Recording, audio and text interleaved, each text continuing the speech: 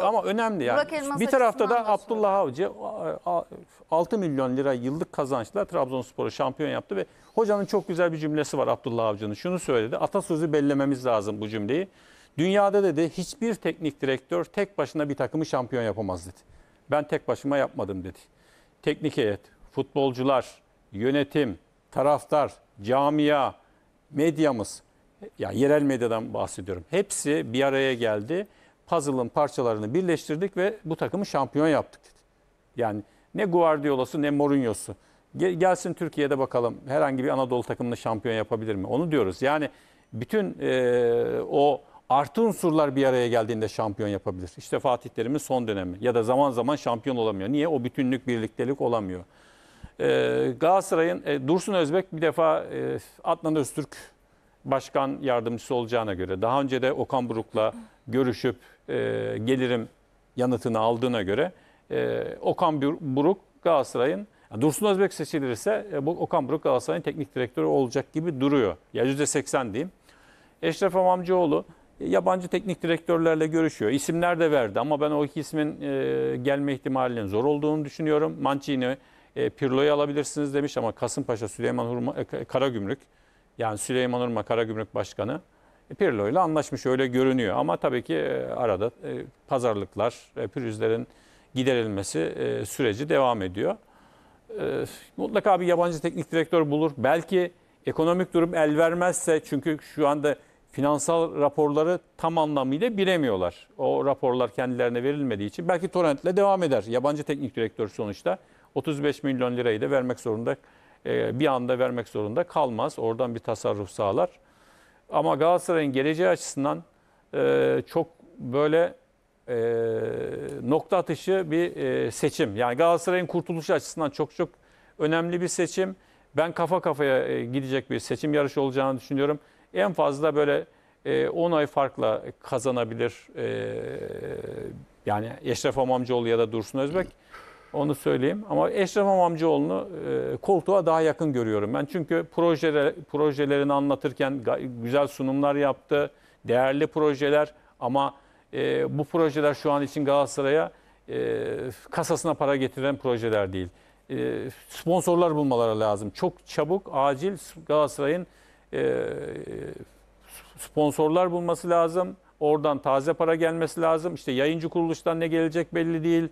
Onu, onu bilmiyoruz. İşte localar, tribün gelirleri, maç günü satışları, ürün satışları bunlar da çok önemli artık. Hepsine baktığında Galatasaray'ın işi gerçekten zor. En önemlisi de e, hocayı buldun diyelim. Yani kadro yarışmaya yeter bir kadro mu? İşte Yunus Akgün döndü, Emrak Baba döndü, Okan Koçuk döndü. Ya bunlar önemli oyuncular. Hani kalede bile bir rekabet olduğuna göre Galatasaray'ın çok e, kötü bir kadrosu yok ama e, bir santrifora mutlaka ihtiyaçları var. E, satılacak oyuncular da olabilir burada. Tabii Mustafa Muhammed'in e, Zamalek'e ödenecek olan ikinci taksidi var. Yanılmıyorsam Ocak ayında 2 milyon dolar ödenmişti. Şimdi bir 2 milyon dolar daha ödenecek Haziran sonuna kadar. Baktığımızda e, Galatasaray için enseyi karartmamak lazım ama e, başkan adaylarının da e, camia ile kucaklaşması Evet. lazım. Ne olursa olsun şunu da yapmaları lazım. Eşref Amamcıoğlu mu kaybetti ya da Dursun Özbek mi kaybetti? Kazanana projelerini, anlaşma yaptıkları sponsorlukları e, devretmeleri lazım Bunu her Galatasaray'ın geleceği seçimde açısından. söylüyoruz. Peki Tabii. e, Kemal abi şunu da sormak istiyorum. Şimdi e, özellikle geride bıraktığımız sezona Süper Lig'in geneline baktığımızda e, teknik adam profilinin de değiştiğini görüyoruz. E, mesela çok başarılı teknik direktörler hem de yerli teknik direktörler de kazandık. Aynı zamanda yabancı teknik direktörler de ön plana çıktı yeni gelenler arasında. Nuri Şahin çok ön plana çıktı. Ömer Erdoğan, İlhan Palut. Ee, Sergen Yalçın yine o teknik adam profili olarak değişikliğin ilk isimlerinden biriydi. Sergen Hoca'yı da yine sayabiliriz. Abdullah Avcı. Ee, say, sayamadıklarım varsa arada Montella geldi. Ee, Evet. Adana Demirspor'a çok iyi işler yaptı.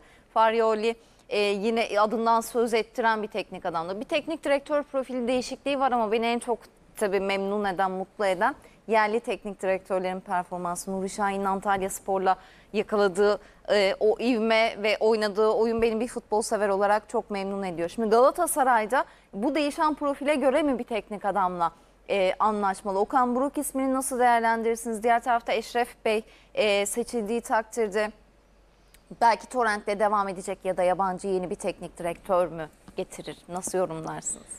Şimdi siz teknik direktörü seçerken Evet. söz konusu Galatasaray ise o kazandı bu kazandı. Beni ilgilendirmez. Hayırlı uğurlu olsun deriz. Nasıl bir teknik direktör var kafanızda? Burası Galatasaray Kulübü. İşte okul kökenli filan falan biraz evvel anlatmaya çalıştım özet halinde. Nasıl bir teknik direktör var kafanızda?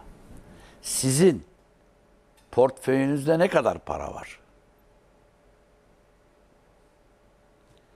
Bir teknik direktör hayal edebilirsiniz.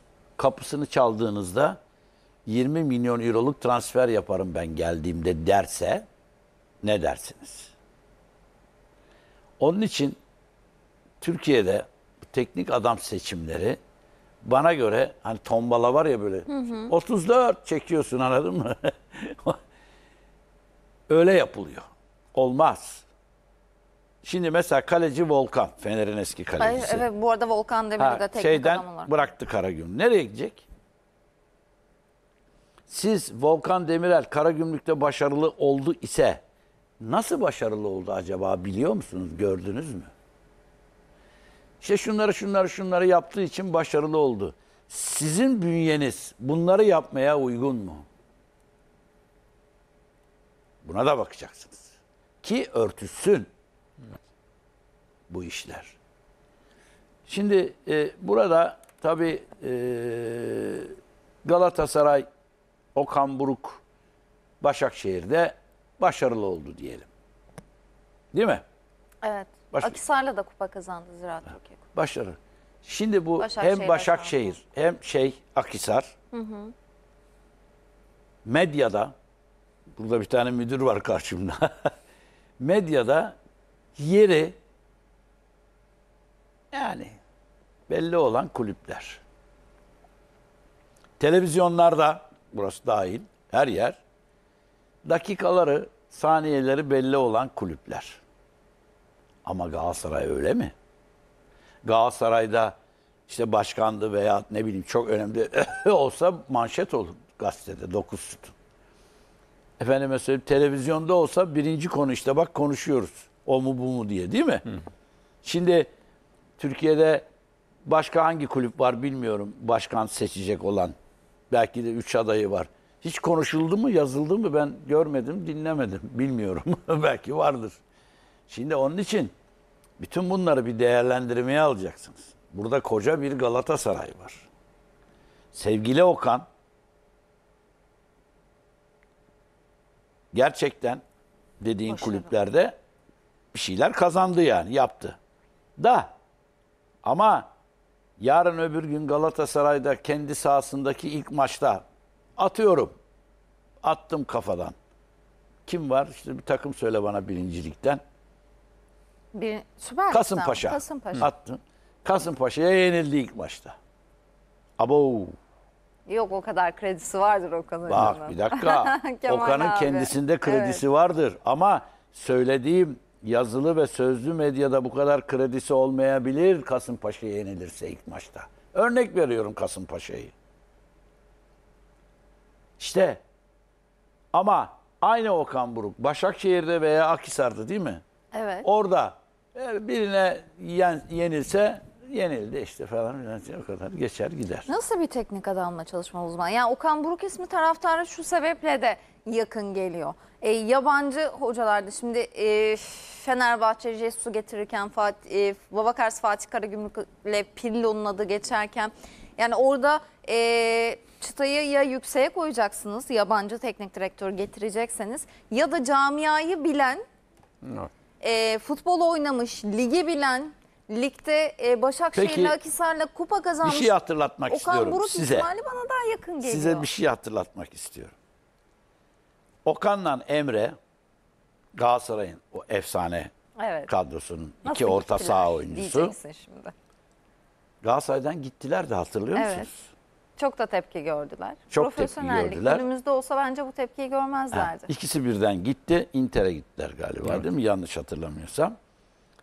Gittiler. Sonra Okan Emre'den önce döndü Türkiye'ye. Nereye geldi? Beşiktaş'a. Efendim? Beşiktaş'a. Teşekkür ederim. Ama yani Bak şimdi şöyle. Bu bir Galatasaray... şey o zaman şöyle hemen bir kontra yapalım. Evet. Zeki abi sen ne dersin bu konuda? Hayır hayır ama ben bir Evet, şey tamam. söyleyeceğim. O sonra söylesin Zeki. Sonra Şimdi- tekrar Galatasaray'a döndü oynadı bu arada ama Galatasaray'da para kazandırarak giden Arda Turan'a ne yaptı Ha, şimdi şöyle. o zaman? Bu söylediğim trafik Inter'de atıyorum kafana Manchester United'de Evet. ne bileyim işte söyleyin Barcelona'da gibi kulüplerde olsa hiç değerlendirmeye bile alınmaz. Ama bende söz konusu Galatasaray, Beşiktaş, Fenerbahçe ise bu burada kayıtlıdır. Hiç silinmez. Bunlara çok dikkat edeceksiniz bu kulüplerde yönetici olarak. Ben onu hatırlatmak, ona değinmek istiyorum.